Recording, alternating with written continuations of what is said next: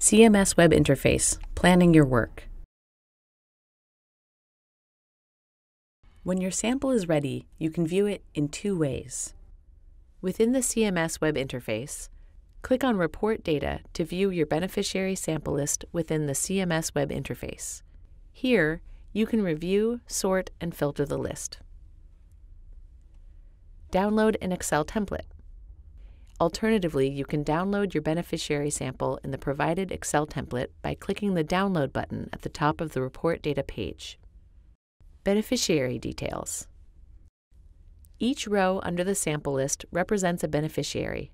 The default view of your beneficiary sample list is filtered on all measures to show every beneficiary in your sample and how many measures in which each is ranked. For each beneficiary, you can see Beneficiary Completion Status. Each beneficiary will have one of the following three statuses. Incomplete, if you have not entered appropriate data for all measures in which the beneficiary is ranked, both for those which the beneficiary is ranked in the minimum and those that they are ranked in the oversample, the beneficiary will show as incomplete. Complete, beneficiaries for whom all ranked measures are completed, regardless of whether the beneficiary is ranked in the minimum or in the oversample for the measures. Skipped. Skipped beneficiaries are those that cannot be confirmed for the sample. Beneficiary ID. This is a unique beneficiary identifier.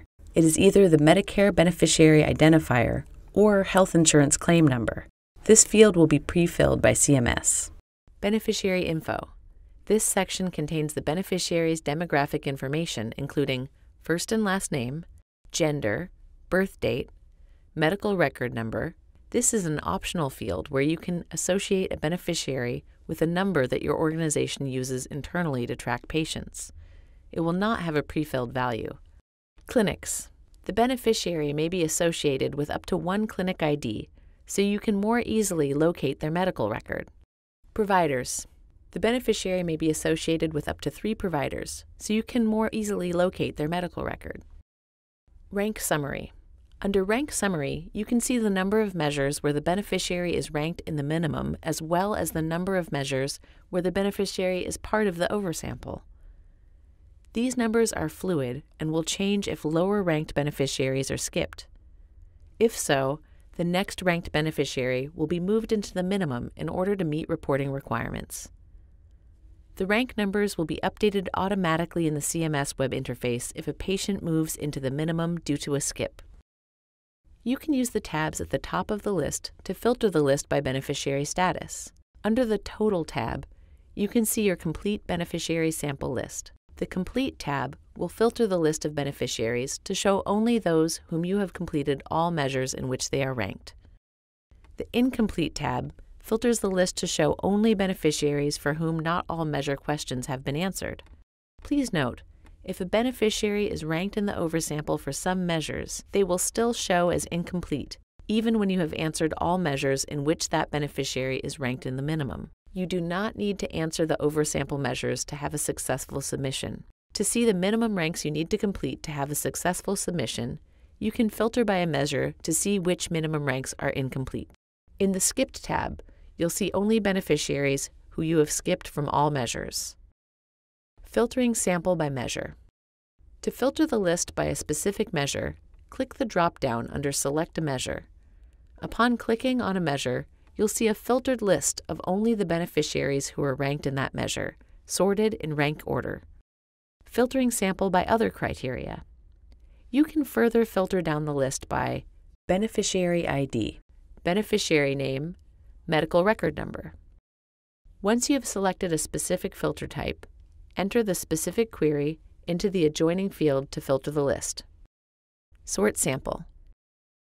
You can sort your beneficiary sample list to be ordered by Beneficiary ID, Beneficiary Last Name, Medical Record Number, Number of Measures Ranked in Minimum, from most to least.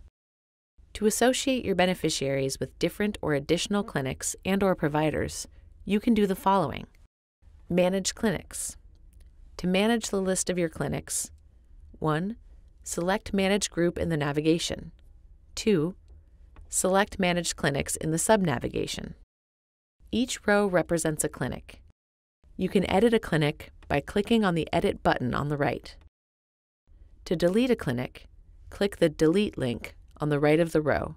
However, in order to delete a clinic, you must first disassociate it from every beneficiary it may be connected to in the CMS web interface. To do so, 1. Select Report Data in the navigation. 2. Download your beneficiary sample in Excel format. 3. Use Excel filter controls to filter the sample by the clinic you'd like to delete to find all beneficiaries associated with it. 4.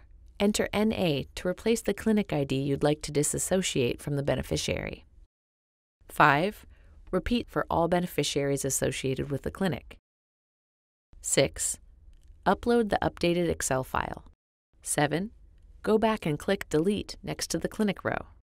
To add or change a clinic association for a beneficiary, you can edit the beneficiary's demographic information in the CMS web interface or do so in the Excel template. To create a new clinic, click the Add New button at the top of the page. You can also download the list of clinics in Excel format by clicking the Download button at the top of the page.